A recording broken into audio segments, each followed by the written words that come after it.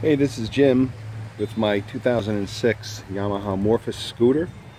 Uh, I did a couple of videos. Uh, I just got it a few uh, few days ago, and uh, I did a video, a quick walk around video, and I did a video at night. Uh, so I'm going to do another one uh, because I, I registered and I managed to take her out on a, a ride. It took about 50 took it for about 50 miles yesterday. So I'm just going to go over some things that I mentioned that I actually read about, now I experienced, for those of you who may be looking to get one of these. And also answer the questions on why these didn't, these didn't really sell well at all. Um, the uh, what I found yesterday, I'm in New Jersey, and it was kind of brisk yesterday. And what is so true is obviously is this windscreen. It's truly, it's just an aesthetic. It looks nice on a bike, but it's useless as far as wind goes. I just was bombarded with wind. Now I have a full full face head um, helmet. So, um, but in Japan, I guess overseas where these really sell well, it's it's not an issue with I guess with the wind. But you know, if you're if you like uh, in me in New Jersey and you do some winter riding, it's uh, it's very uncomfortable. So I did order an aftermarket um, light gray tinted 20, uh, 22 inch high windscreen, which weren't av available for these when they uh, when these were first offered for sale, 06. So that'll help a lot. Um, another thing that I, I noticed, uh, I'm a big guy, I'm six foot, I'm like 275, I'm a big guy. Uh, and I fit fine on this. Uh, there was some issues with um, this is not a bike for as, as long as and big as a, of a scooter it is. It's not for tall people. Um, so if you have long legs, if you're like 6'1", 6'2", this is not going to be a comfortable ride for you at all. Uh, I'm comfortable with it. Um, but if you're a big guy, I'm broad-chested, big big shoulders. What I found is the mirrors aren't wide enough, really. I, I uh, I could see, I see basically my shoulders and arms. I could see some, you know, they do, uh, they do, they, they, they are concave, so you can see a wide, but as far as cars directly behind me, I had to move my head to look behind me. So I'm going to see if I can get uh, some longer mirrors, which should help a lot. So these are definitely not long enough for me. So, okay, uh, I started up. Now, New Jersey, it's a little chilly. Um, again, this is a southern bike, so I don't know how, I don't think it likes the cold weather. But this is this got 4,000 miles, so it was like new. I bought it off a dealer again. Uh, and the original owner, I, I, I assume from the looks of underneath the engine compartment stuff, that this was sitting for at least a few years because there's no water damage, there's no water, no, no, um, evidence of, of rust or water, that, that it's salvage, of, everything is clear, I got a good title on it, but it was a lot of cobwebs and spider eggs, a lot of them under there. So it's been sitting, the uh, original owner didn't use it. So, which is good for me, because I, I, got a really good deal on this bike. So, now let's start it up. Now I, uh, my first video I didn't really open her up uh, so I'm going to do a video on this now. As far as uh, the practical uses of the bike, it's got a really nice, long, deep glove box. It's locking. Uh, you got enough, more than enough room for cell phones, wallets, gloves, sunglasses, anything you want. Uh, again, this is the uh, fuel thing. I haven't fueled her up yet. She's dealership gave me a full tank of gas. I appreciate that, Clyde. Uh, again, to open up the trunk, you just click here where it says See that? Open. And you'll feel this pop. And you'll see the, uh, the seat pop up.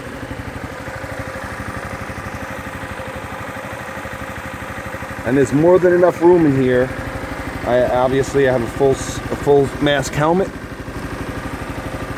and I got my uh, head warmer there. Now under here, you have the three bolts this this and over here underneath You take these up, out, this whole thing comes out one piece, ABS. You got access to the engine. And I changed the spark plug. The original plug was in there. It was very carbon fouled. So I changed and I put an Iridium 9, an NGK Iridium Iridium 9 plug in it to see how it's gonna how it runs. And I know the Iridiums run a little colder, but they're um, they're very um, durable.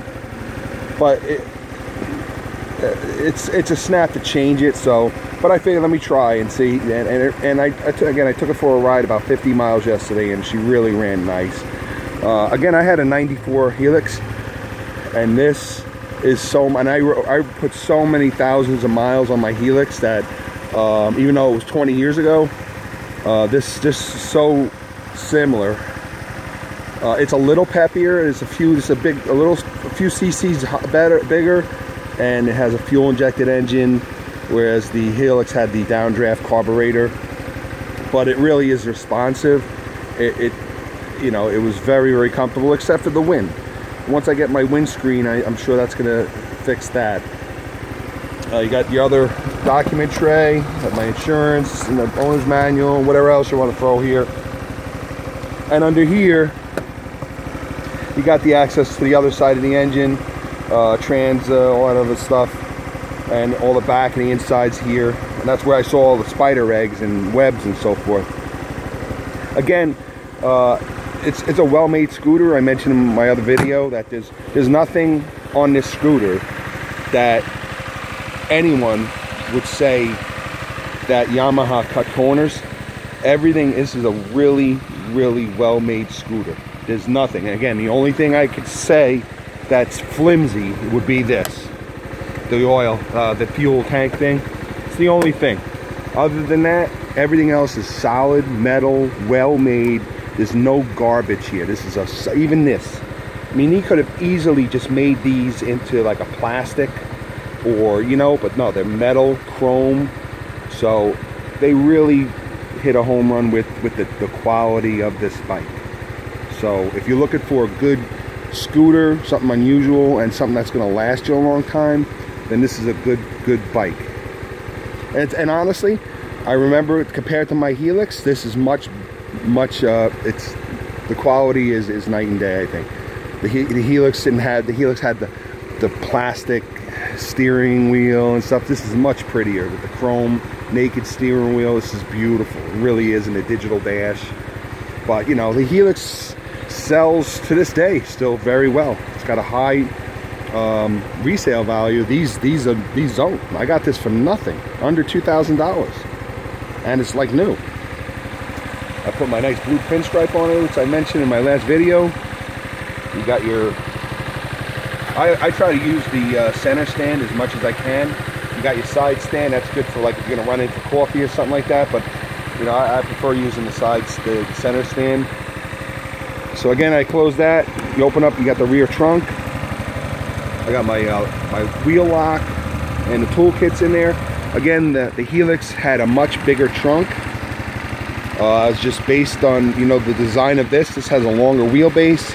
So um, the, that longer wheelbase took away the, um, the room in the trunk. Now, if they made the wheelbase a little shorter, it wouldn't be the Morphous scooter and perhaps it would have sold better. But I, I think some of the reason people didn't like is it's so long. And they are as long as they look on the video here. so, but you got a nice trunk. Again, it looks just like a caddy. Really beautiful. Got my plates. And again, I took her out for about uh, a good 50 miles yesterday. Had a, uh, it was pretty responsive. Uh, I cruised easily at 50 miles an hour, no problem at all. Know, crazy squirrels, excuse me. But again, from the front, the, from the front, you don't know what's coming at you. It's a really sporty, it's a, I really love the style of this bike. I'm gonna, I'm gonna have this for many years to come. Again, the difference between this and the Helix, you got larger wheels, um, you have power disc brakes front and rear. Again, these are really nice at night. They kind of peek up on the top. So while you're, you're riding, you can see just a nice little glow on the top and your red Speedo.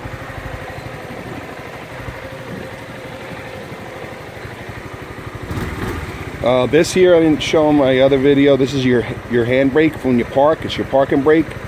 Locks the back tire.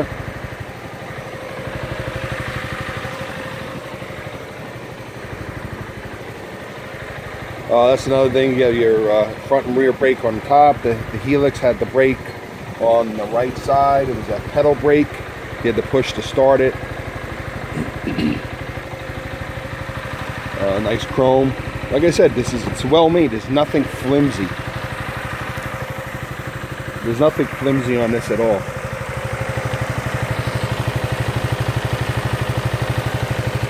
Here's your uh, access plate for the belt drive.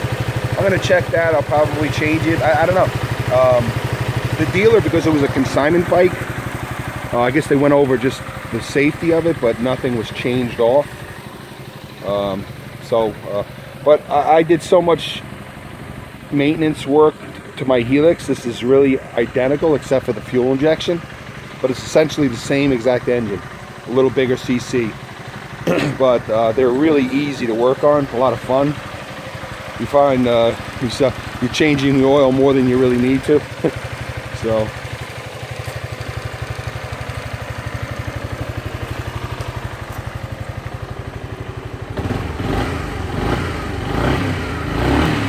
It's not really loud. Again, it sounds just like my Helix.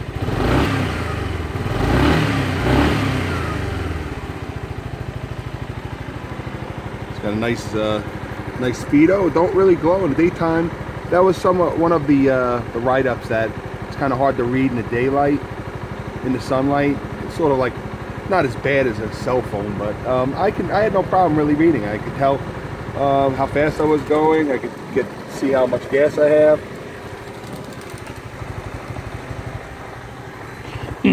So in a few days I should be getting my uh, my new windscreen. And I ordered because I'm gonna be losing this and it's kind of pretty it looks nice. So I ordered a blue from Yamaha. It's actually coming from overseas. Uh, a blue Yamaha sticker. Uh, so I'm gonna put that there and it'll look nice and again I got the tinted gray and it should come up about here I believe the there's a, if you just do a search on Yamaha Morphous um, replacement windscreens. Uh, I think it's J-Rock. JRock.com is the uh, company that makes them, and they have a, a, a, lot of options. They had many options, as tall as 18 inches wide by 26 and a half high, which I didn't want to go that that large. So, so I still haven't given given her a good cleanup. She really needs to be detailed, but it's just too cold. So I'll either wait for a nice warm winter day or we'll just do everything in the spring and I'll enjoy her. So.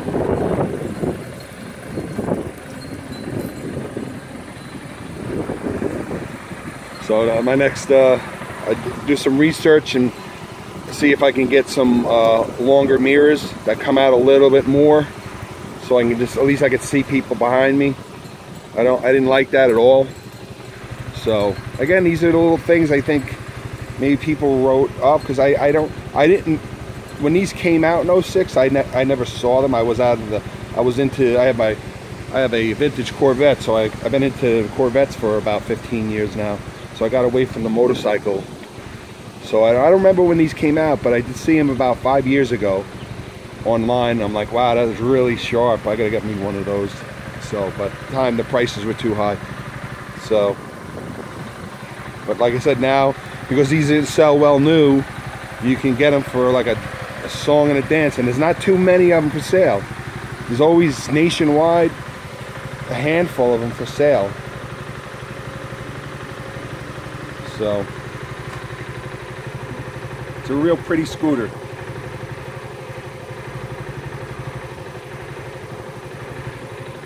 So, there's enough room for, for uh, someone on the back in the owner's manual if you depending on your weight There's uh, different tire pressures. I, I, imagine with the larger bikes it's different. With, with this, uh, it's just a few pounds difference for the rear tire. That's all in the, in the owner's manual. So, and that's another thing too with these is it says it too is do not let them idle for a long period of time. So we took care of that by just shutting it off, obviously. So.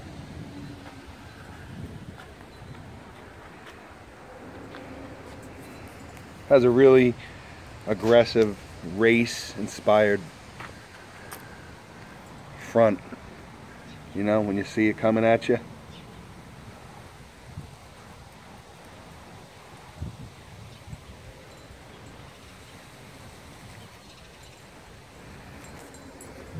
Right. All right, so once I get the, uh, hopefully I'll locate some mirrors. I'm gonna try to get the chrome. The chrome really sets it off nice. And, uh, and the windscreen, once I get the windscreen, I'll post another video. All right. I had mentioned, uh, I had asked if any Yamaha Morphous owners could help me out with the rear lights.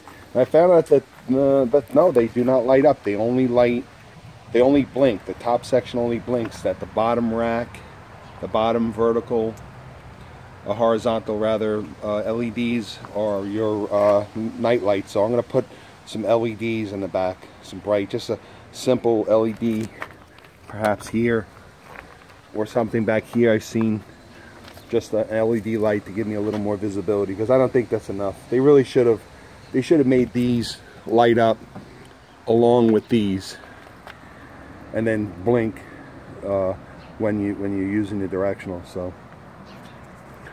So you can see it's as it is as long as it looks on the video believe me.